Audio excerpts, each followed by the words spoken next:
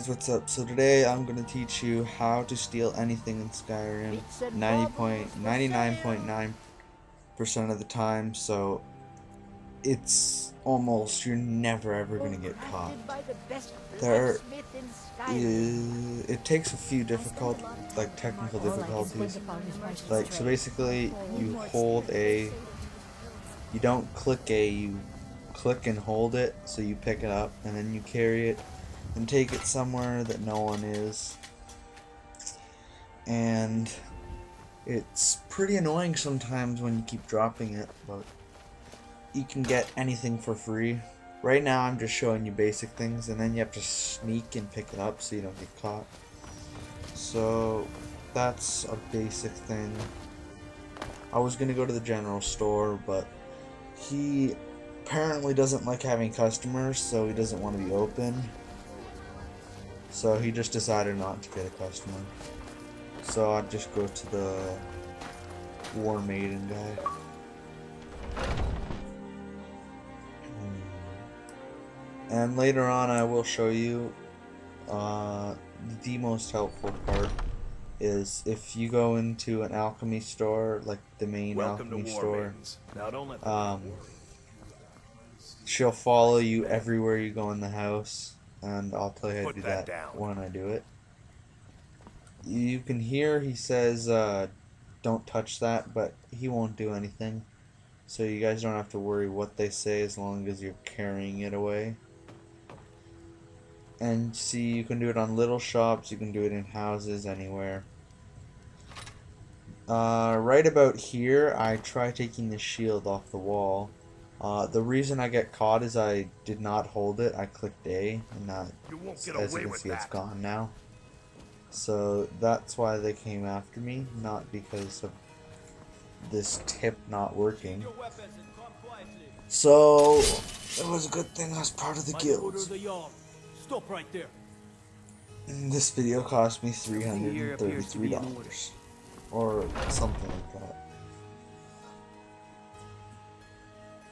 So now I'm just gonna go to Solitude and show you a little more expensive stuff that you can steal. For the most part in this video I could not find anything to steal, like there weren't amazing things. And if that's if you do find something really good though, then that helps a lot.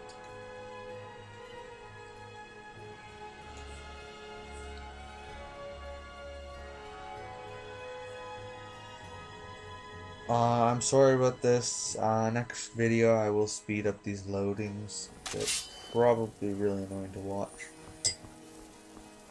So, as you can see here, I do my little time glitch so that it's easier, the time goes fast. Like as you can see, I really didn't do any edits to this and that's how fast the day went through 12 hours. If you guys want to see that video, just click my video selection at the top of the screen besides subscribe. Or unsubscribe if you're already subscribed to me. It'll be beside that. And you can find the video and it's the 24 hour glitch. I've got some salmon to sell. And yeah, it was very helpful.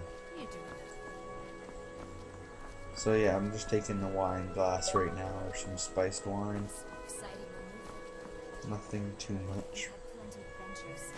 I don't know if you have to sneak if you go far away, but I always sneak because it's not worth getting caught.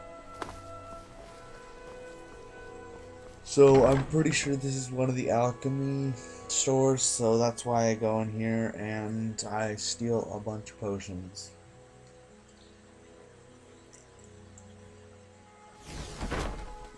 And in this video, you'll also see how they follow you around. Actually, no, there are some serious technical difficulties in this video with my fucking person getting in the way.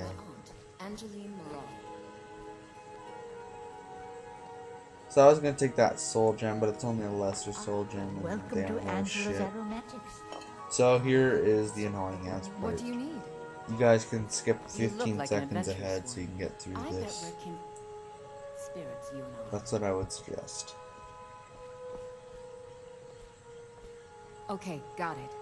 Oh, it takes me a while to figure out in the right place. how to get it past them. Mm -hmm. And then? I just decide to go I've get the other back. one. Lead on. Anything else? Because I realized the one I was looking at earlier is right there.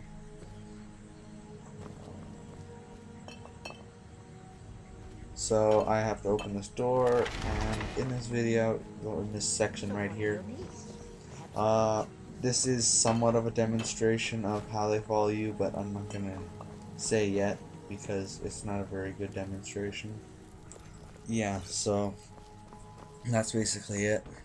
If you guys did hear a cutout there, my stupid ass screensaver came on and stopped the sound, the voiceover recording, because I'm pretty sure you can tell this is not live commentary, because I can predict the future. So that's about it for this part. So now this is the second take. We're in uh, Dragonsreach, and I basically rob everything this guy has out on shelf. So you, I just took all his gems and everything, and you just put them back here. This works everywhere that I know of so far. If there is a place that you can't do this, really, Come to Dragon's below. Reach to Just leave it in the comments or something. The rest of the great and I guess you can help other people out by that so they don't try to go to the same person. But everywhere I've tried it all this all works. So it's very very useful I would say. Because some people leave like Daedric hearts and things just sitting out. If you go if you go into the camp companions and you go down to their living quarters and you go into the old guy's room and well not like the room before you go into the old guy's actual bedroom you can there's a Daedric heart sitting on the left on a plate. Uh, yeah basically that respawns every 10 days so that's pretty helpful. And they won't let you take it unless you are the leader so you can use that there. This is this tip would come in help there. And this is time for the person that follows you all around and that always pisses me off whenever I try stealing from him so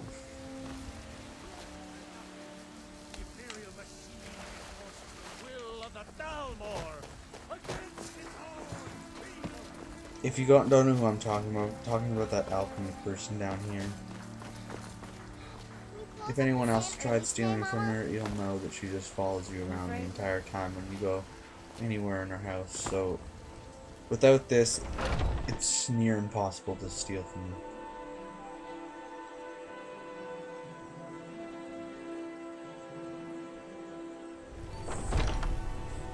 Take a good look around. I'm sure So, find I can demonstrate with anything. I'm pretty sure I take the fire salts. Yeah. What are you doing that for? because they're pretty expensive if